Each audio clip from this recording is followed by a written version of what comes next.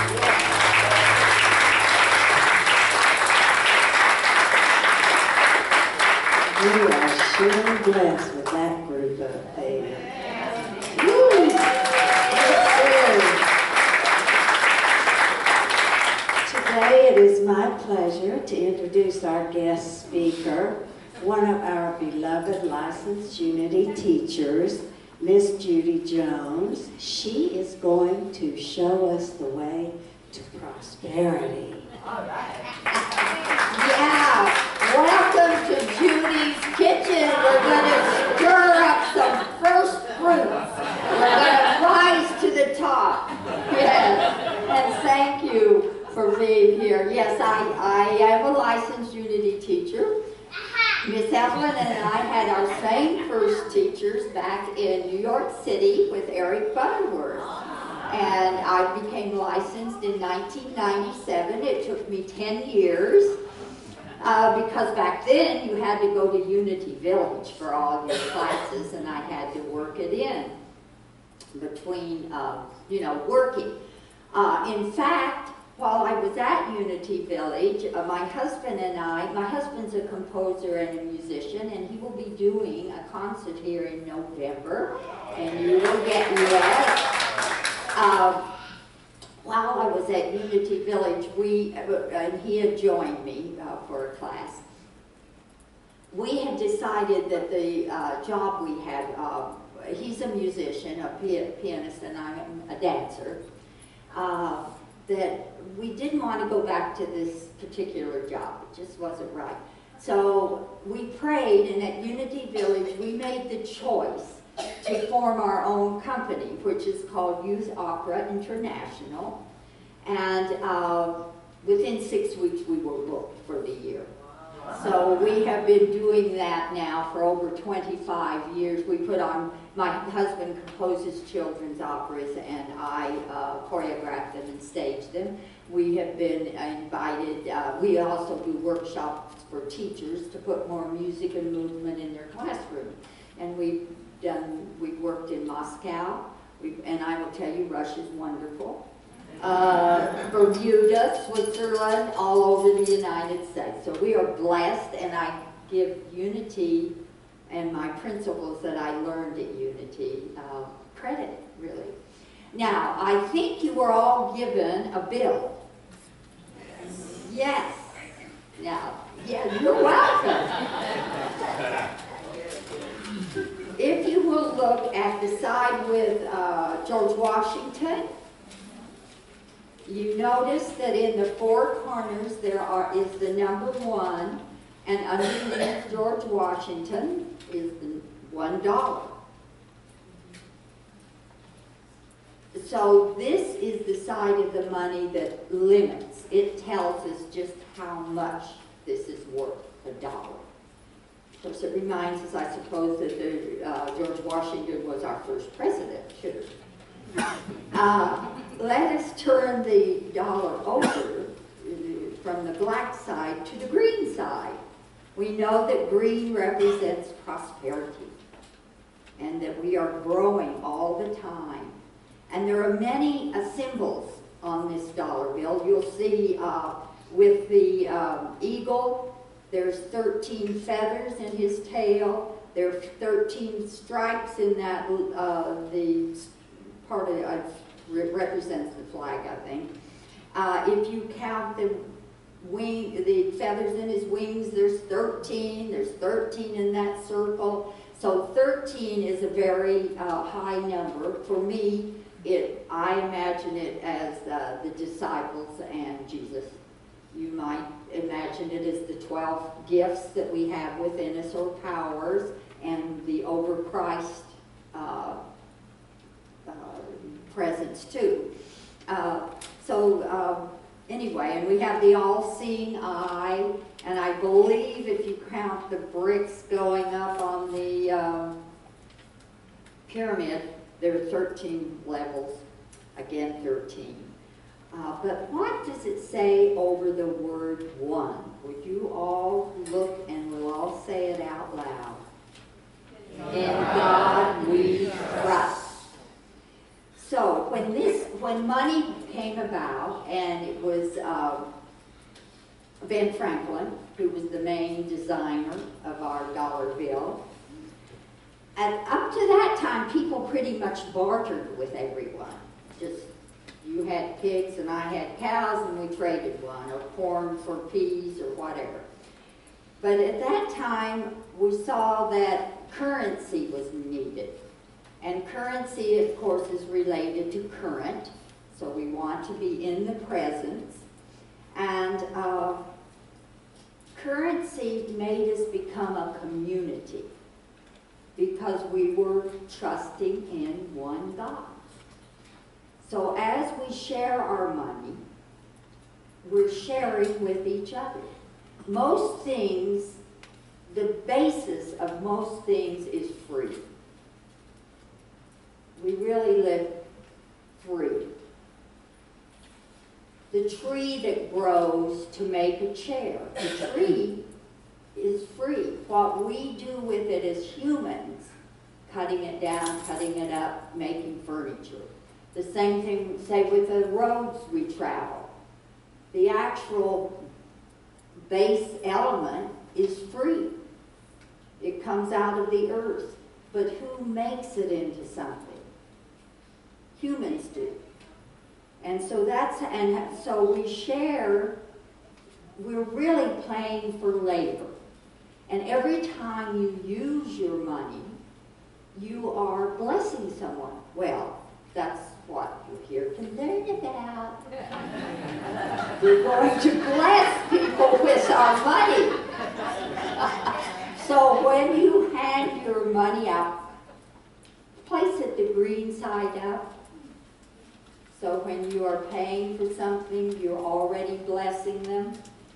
And in uh, most of the words that I'm saying here are not really me talking. You see all my books down here? And am I still coming to class? Yes, I am still coming. I've been doing this since the 80s, and I'm still learning, still wanting to raise my consciousness, my consciousness of prosperity, your consciousness of prosperity. We're all gonna, we're all in this together. Amen. So one of the things I've learned is that in the morning, and I'm not always good about this, that's why I'm here, I need your support, that in the morning you count your money and you bless it before you go out because we're so easily handing it out. And how are you treating your money? Are you just wadding it up? Or are you really thinking of it as a spiritual tool? Not only to lift your consciousness, but the person that you're giving it to. And remember that everything is uh, uh, goes down or in trickle, trickle. Thank you. That's the, in other words, if I pay for groceries, I'm handing someone the cashier, so I'm blessing her. But at the same time, the groceries that I've taken home, someone has had to deliver whatever the fruit was picked. Someone grew the fruit. So it's really a trickle down effect of how we're blessing each other constantly. But we have to keep, keep it filled up. Think of it as a blessing. Now, that leads me into tithing. Mm. When I was at Unity Village and the word tithing came up, tithing means 10. And in the Bible, the, the number 10 uh, is, I don't want to say a magic number, but if I knew more about math, I know that it, we, it's in increments. It changes every time. 10, 20, 30, it, it grows. It's the number of increase. And the more zeros behind it, it just means it's more and more increase. So, in the Bible, we're taught to give our first fruits of uh, in the amount of uh, in money, if we're talking about currency, 10% of whatever comes into it, into our being, our whether it's your salary, whether it's social security, whatever, to give it off the top to Bless it first. Give you as farmers, farmers didn't keep back the worst seeds. No, they kept back the first seeds that had the strength and the courage and the power behind it. Now, I told this story, I mean, I was talking to, I was so excited about uh, learning about tithing. Well, I did say to a friend once, I know that when I give 10% to wherever I get my spiritual growth, that I am guaranteeing that I will get back tenfold. She said, Judy, that is Old Testament.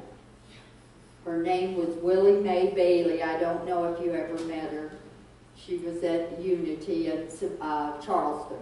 And she was one of my first prosperity teachers there. She said, you, I, she was at a service with Reverend Ike in New York City. And Reverend Ike said, no, you can put any amount but it is that you should give. So she said, I got into the flow of things, and so I wrote a check for fifty dollars. And he said, and date it when you wanted to come back. Write it in there what you want to get back. She said, so I put uh, five thousand. I wanted to get five thousand back from my fifty that I was giving, and I dated it. She said to me, Judy, I cannot tell you that, I mean, I, she did tell me, but obviously, the day that that check cleared, I got a call at- from the court system that she had trained to be a mediator in some part of the court system. And they wanted to ha- have her come in, and she was supposed to do 12 sessions at $450 a session, whether it was an hour or not. It could have been 15 minutes of my mediating, uh, I think it was for child care. Um, she said, I've never made that much money in my life. But if you fi- and, and if you figure it out, she's getting five thousand right away.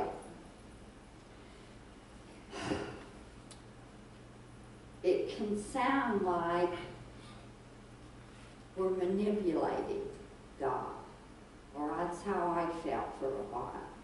And I said something about that to Reverend Dale. He said, no, it's a spiritual law. You're living in the law. So I'm inviting you all to live in the law. Oh, I have another funny story. Well, maybe not so funny, but when my husband and I were living in Charleston, as I said, he's a composer. And he wrote a little song for children called Sunflower. Sunflower, sunflower, yellow and round, you are the prettiest flower I found. Tall, straight, full of grace. I love the sun on your, the light rather, on your bright yellow face. Okay, this has been sung by a lot of children. And there was um, a, a commercial. Well, we had been out on the road, and when I got home, my husband was still doing something uh, at some school. He's a Montessori teacher trainer also. Um, and I got this call from McCann Erickson, an advertising agency in New York City, uh, and saying, I really need to get hold of your husband. I really need to get hold of your husband. And people had mentioned as we were traveling, gee, we're hearing that little song somewhere uh, over the air or something. Really? Well, anyway, McCann Erickson, when he finally got hold of my husband, what had happened, this, there had been a commercial made and this little girl was nervous and she was about five years old. And they asked her to sing a song while she was making this commercial to ease her out. It was a little, well, I'll talk about that. Anyway, so she sang my husband's song.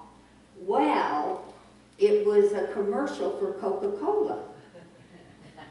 And uh, the McCann Erickson said, we didn't think this would be shown till later in the year, but they liked it so much they put it on the World Series. And this was years ago. Uh, so we want to compensate you. Oh, I didn't tell you the first part of the story about this. I left it out. We had wanted to add a room. Uh, we had this patio that had a, a deck over it, and we kept saying, oh, if we move the doors out, we'll have room for our, uh, a new little room, a little sunroom. And so we hired someone to do that, and, uh, and he said, well, I'll need $450 as a down payment. And we said, fine. And at that time, we didn't really have the money for the room. We knew, I knew that we could always charge, um, try to avoid that. But anyway, so then this, we went out on the road and we get this call. And uh, so the room is going to cost four thousand five hundred. Do you know what McCann Erickson offered us? Thank you, four thousand five hundred. So we got our room paid for, Plus, I said, um, you know, this little girl was doing this commercial, plus her, it was during that eight, when we had that sort of crash or whatever. She didn't have, her parents didn't have money, uh, enough money to send her back to the Montessori school. So we called up, I called up the McCann Erickson and said, can't you give them some money, some extra money? So they did write a check for five hundred dollars. So that was good. Anyway. Oh, so how are you feeling about tithing? Uh, oh, uh, I'm going to say um, it's first fruits. Before you uh, write out your, pay your bills, think about and pray about where you have gotten your spiritual development.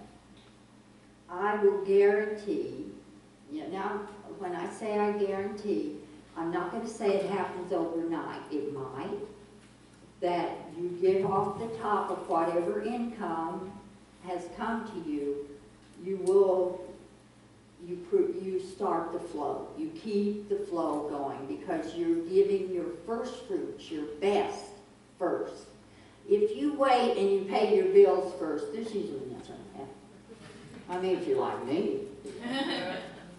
But it works differently. Now, I mean, you may have to adjust your bills, maybe you have to call up, uh, get, I don't know, get the- these people that help you with your, uh, planning out how to get out of debt if you're in debt. But I'm telling you, it works.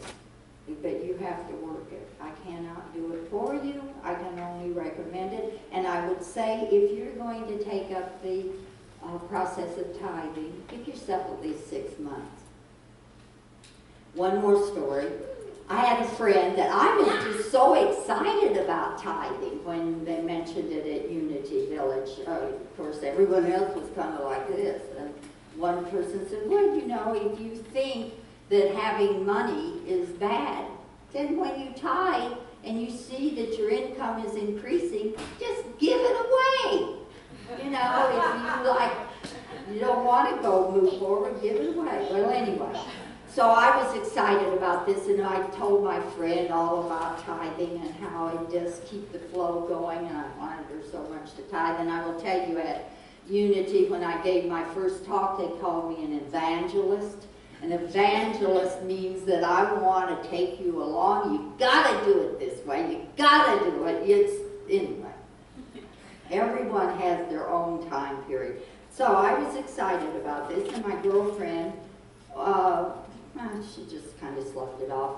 But then she had some health issues, and she goes to uh, alternative healers, I'll say, uh, rather than a regular doctor. Anyway, after the attorney, uh, after the uh, healer talked to her, he said, "You need to tithe."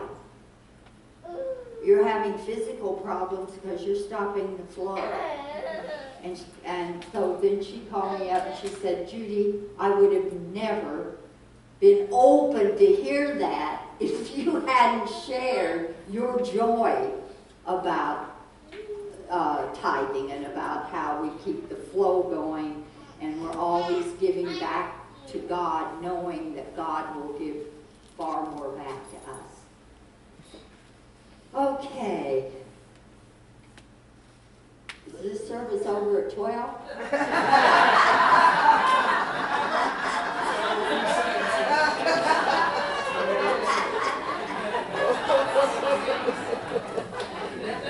I have another experience because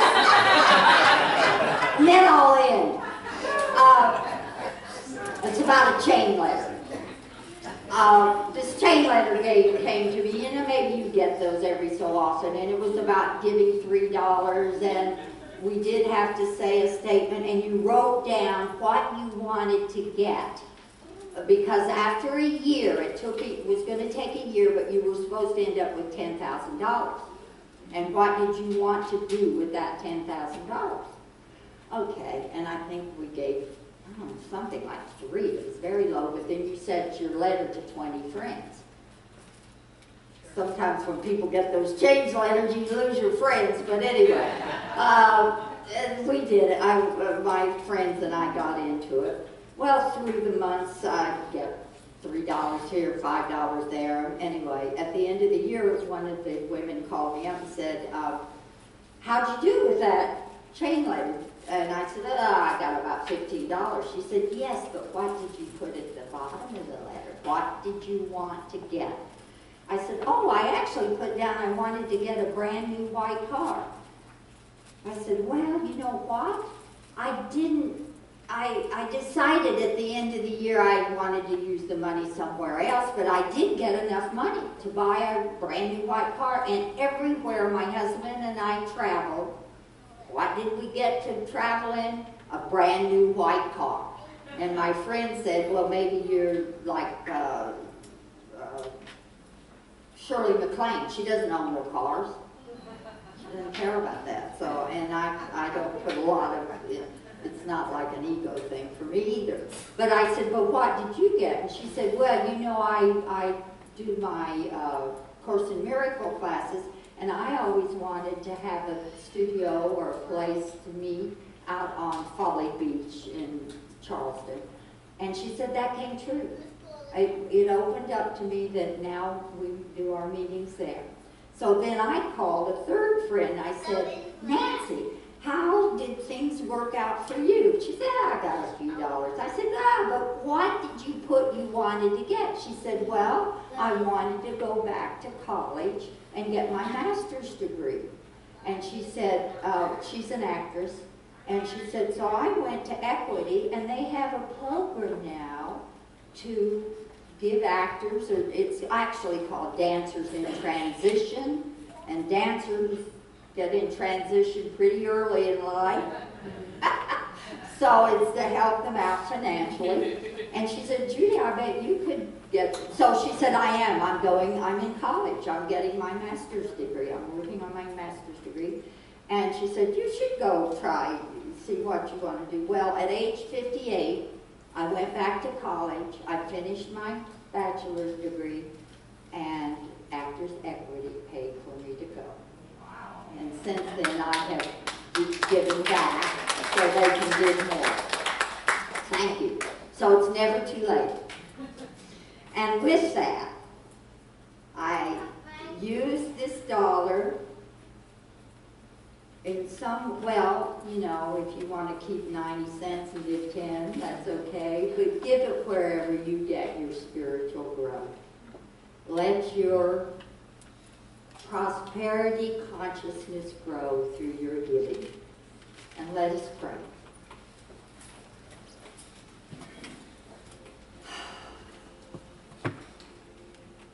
Dear Heavenly Father, Mother God, Holy Spirit, you are so good to us.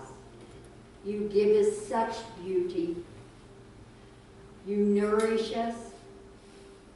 And you lift our hearts. As we lift our hearts, we know that all hearts are being lifted. And we know to keep the green side up. And you show us the way. And we pray in the name of our way shore, Jesus the Christ. And so it is. Amen.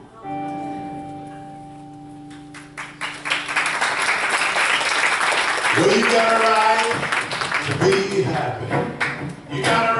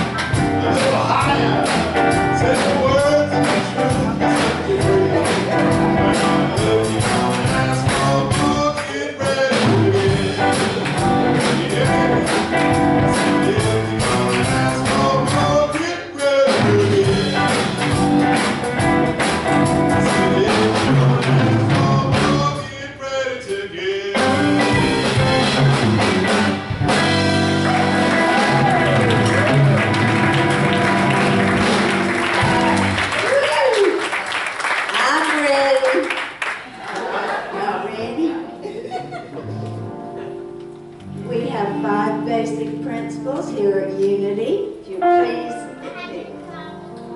join me in reciting these. The first one is, there is only one power and one presence in our lives and in the universe, God. And the second one, we are the Christ of God in expression. And the third one, thoughts plus feelings equal outcome. Four, there is power in prayer, prayer, and meditation. And the fifth one is, we live the truth we know. And one way we do this is by tithing. And Miss Evelyn is going to bless our love offering